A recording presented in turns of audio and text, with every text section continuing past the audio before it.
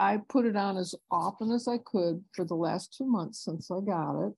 And suddenly I didn't have pain.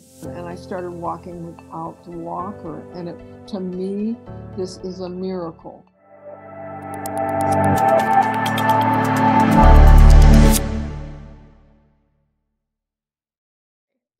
Hey, Kay, thanks for coming to spend some time with me today. You're very welcome. So, can you start off by telling us a little bit about how you were feeling prior to coming to QHS? I can. Uh, I am a, a caregiver of a lady with advanced Parkinson's. And a year ago, I fell and broke my hip in a slip and fall in a bathroom and a public bathroom, which gave me a good legal case. And I started going to physical therapy and so on, but she needed me to come back sooner than was right for me. And I came home and started taking care of her while I was using a walker. And I did not get off the walker, even though I tried to still do physical therapy. I couldn't get off the walker, and all the doctors kept saying, You should be off by now. I know many people who have had broken hips, like what I got, and they're healed in at least a month or three months or so on.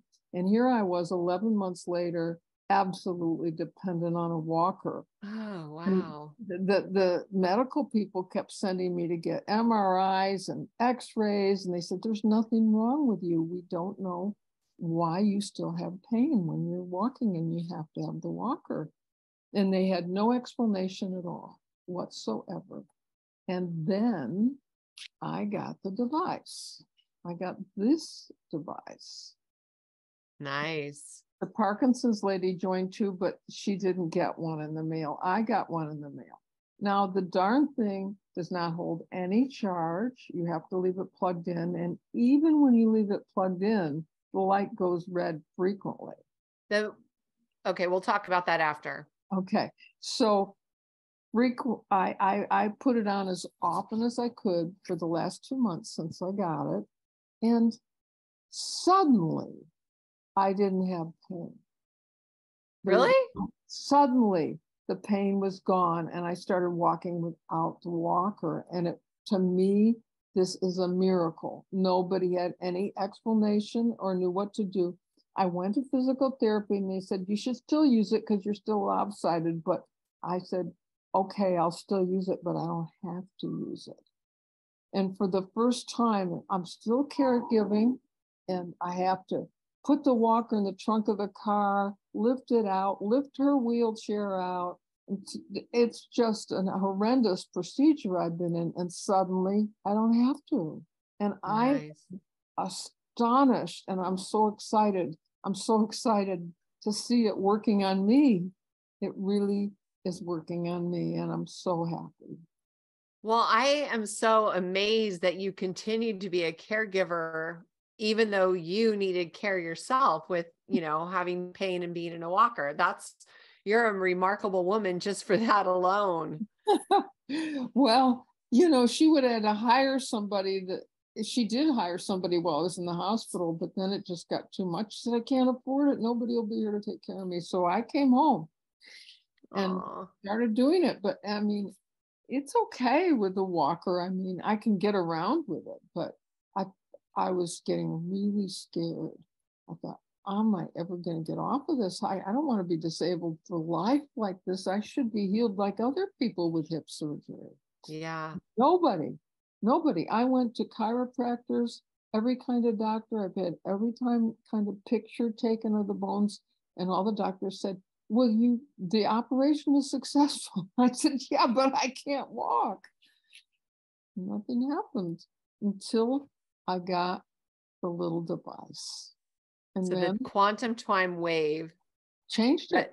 Read your body and figured out the problem that the doctors couldn't find. That's yeah. amazing. We don't know what it was, but it figured it out. And I am so relieved. I was getting very, very frightened that I was always going to be that way. And I'm not. It's already changed.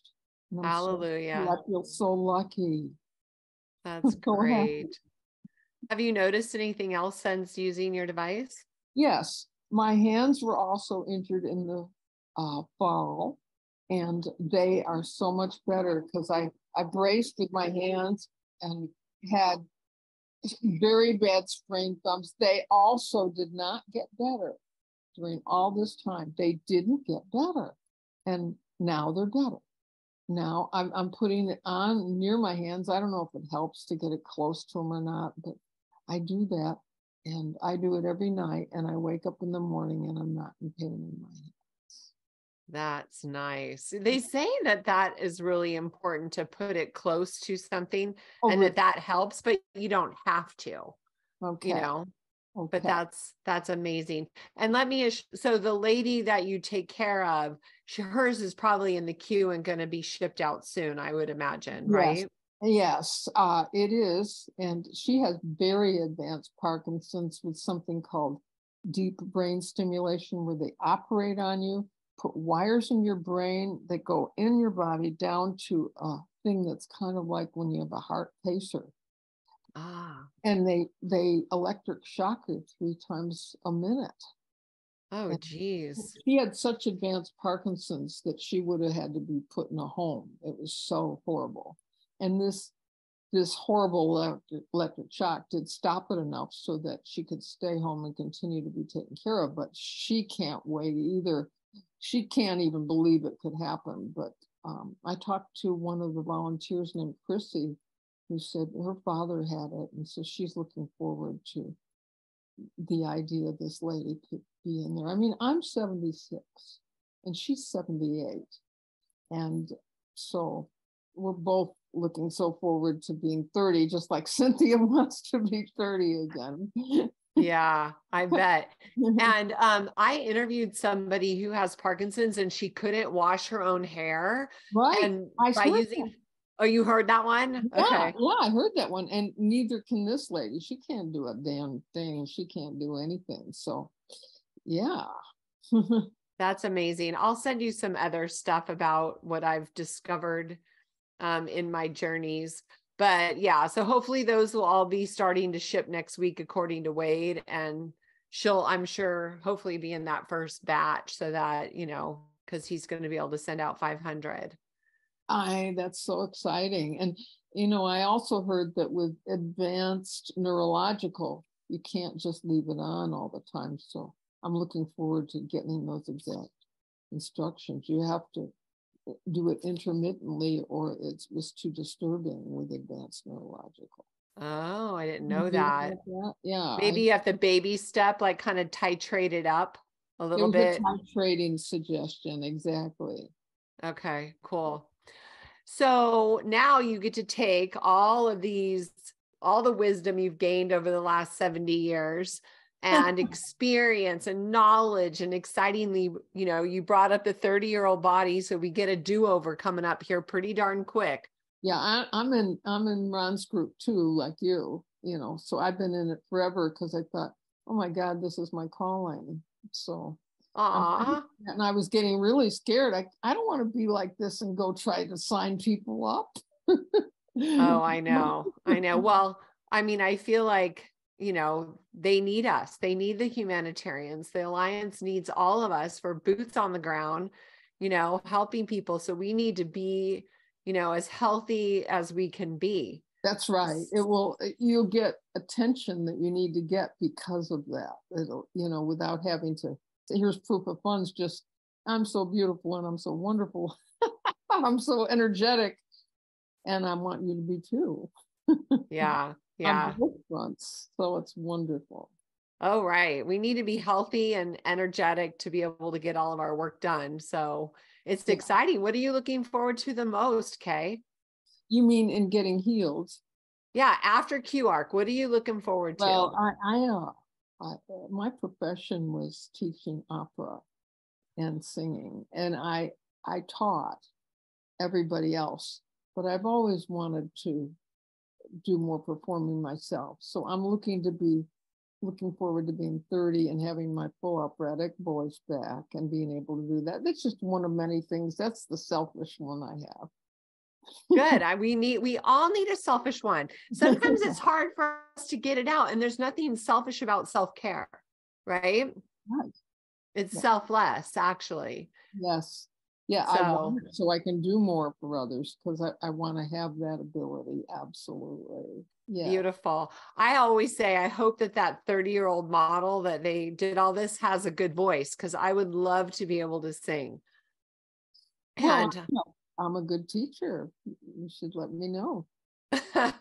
Everybody- okay. Everybody should should know how the instrument works to be able to sing because they think it's just what you're born with or not, but it's not. I my motto on my business card is I can teach anyone to sing.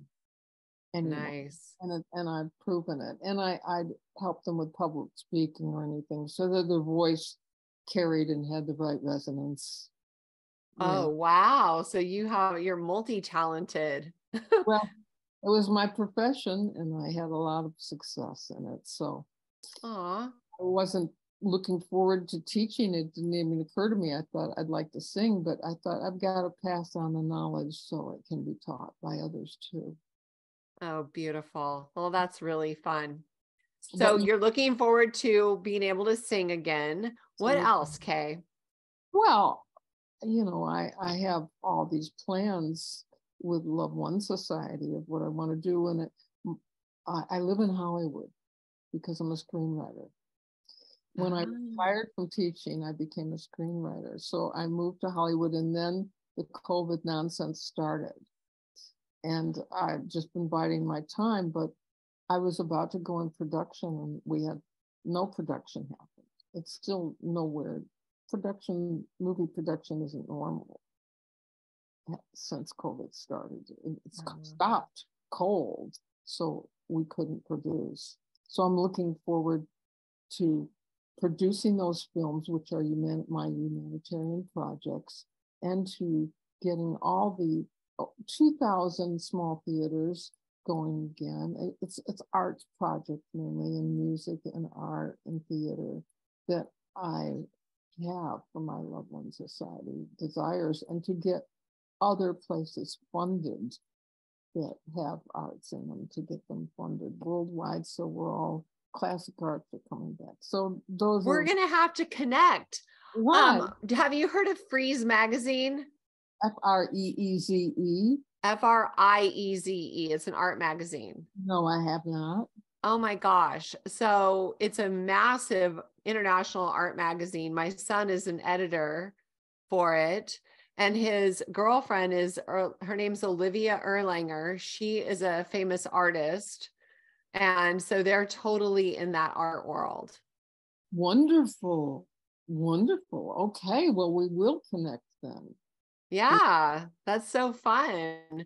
Oh, he has such a fun job. He goes to art shows, you know, like today she has an opening in New York City and then like she's has another show in LA and another one in Texas. So they just bebop all over and, you know, go to art shows. They're going to like Buenos Aires.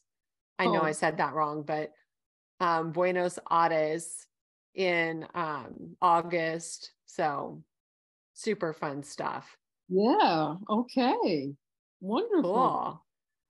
Awesome. So you're going to do a humanitarian project for with the art scene. That's really nice. with the art scene and um my very uh, profound person dentist is dying to know more of it so she she can do it too. And of course when I, by the time I told her you couldn't join but she's going to as soon as it's open to for her to become a member uh, uh, because she's already got all the facilities to set up the healing beds in her place. She wants to do it from what I told her Wonderful. You're the, connected to that, you know, and I we have other the, the lady, the Parkinson's lady, she has huge property office building and she says she wants to do a healing center there. So she, she's got all the facilities, all the land and all the office space to open a healing center with healing beds. is she part of LWS too? She isn't because, but she would be if she could, but she's, the Parkinson's is so bad, I don't involve her in too much. She knows. I said, I'm applying for a job. I don't know if I get it. So we'll get it yet. And that's when I have the meeting, right? And, and that's how I said it's a, a humanitarian job that I will do, helping billionaires to distribute their money to worthy projects. So, oh, good. and I said, so I'm applying for the job and I don't have it yet, but I, I might be able to get it. and perfect. So I'm very excited about that. But with simply with the quantum healing uh, beds, I told her we're going to be looking for places for centers. And she says, Well, I've got my office building. I can totally do a center. And she wants to. So once she gets to go on it herself, she's going to open it up. And she's was always a humanitarian before this. I just didn't want to come at her with that right now until she can be better because she can't even think about doing anything until she can get better because she can't do anything. Well, that's coming up. We are so close to the Q arc. It's just unbelievable that I know. I know. It's so exciting. So, yeah, I mean, next month is it's going to be here before we know it. Very wonderful, wonderful thing, you know, and then the the actual full healing bed is going to be here before we know it too. Right? oh, that's what I mean. The QR. The whole thing. Oh my God. And then I guess all you guys that are admin are going to be going up to Salt Lake or something to get going, right? Well, they want to test it on us, us, right? Because yeah. they're going to test everything so we can make sure that we can set the member expectations up correctly based yeah. on our experience. Okay. Well, you know, when I talked to Chrissy, I uh, the lady with Parkinson's was sitting there go, I'll be a Tesla. She's ready to go to Salt Lake too. I just, Christy said, well, she's, she's not an admin yet, but my friend can't wait. And so that'll be wonderful. So, yeah, that's wonderful. Well, okay. Probably, she'll probably go under me in Love One Society, you know, as some kind of director for a Healing Center for the quantum healing beds. I think that's probably the way it'll go. Perfect. Yeah. And you'll have plenty of funds and, you know, be able to set it up just perfect, I'm sure. Yeah. So we need our directors. That's, that's right. important. That's right. So I, I'm pretty sure that's what she'll become because she's already got the facilities. And so, you know, who knows what will come first, uh, uh, Love One Society or quantum healing beds in terms of that kind of funding. We don't know yet. Mm-hmm. For sure. Right. Awesome. Well, my darling Kay, thank you so much for spending time with me. And I'm so happy that you are off your walker so you can take care of your lady friend and also feel, you know, no pain yourself. That's that's amazing. Honestly, it's a miracle for me. Mm-hmm. And you know, it was such a weird case not getting healed. And then it was just one morning all of a sudden I was walking down the hall. I said, Where's my walker? How am I doing this? Mm-hmm. it's a big mystery. well, and now you can delight the doctors, you know, and say, Hey, you think I should tell them the truth? Yeah. Okay, I will. Course, Why not? They're all so darn skeptical of anything, you know, but they can't believe it. I'm waiting to walk in being 30 and then everybody will believe it, you know. But anyway, yeah, I've seen medical miracles from natural healing, but I certainly wasn't getting it until I got this device. Yeah, facts are facts, you know. I mean, your pain just disappeared overnight and overnight. Thank hallelujah. Mm. That's right. Thank you, Tracy. Thank, Thank you, you Kay. Doing the job that you're doing it's such a, oh my gosh, this is just such a God thing that I landed here. So.